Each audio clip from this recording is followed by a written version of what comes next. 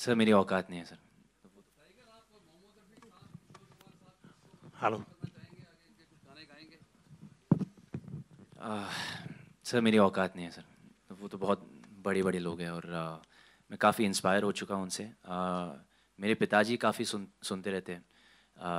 मोहम्मद रफ़ी साहब किशोर Kumar ji Gulzar sahab he is a big fan of their music so you know every time I am crossing his room in my house his songs he, his so uh, a lot of respect for them. हालाँकि uh, uh, जैसे मैंने कहा मैं Michael Jackson से बहुत inspire हूँ तो उनके सिंगिंग का स्टाइल उनके डांस का डांसिंग का style I try and embody that what about your style आप किनको फॉलो करते लता जी आशा जी।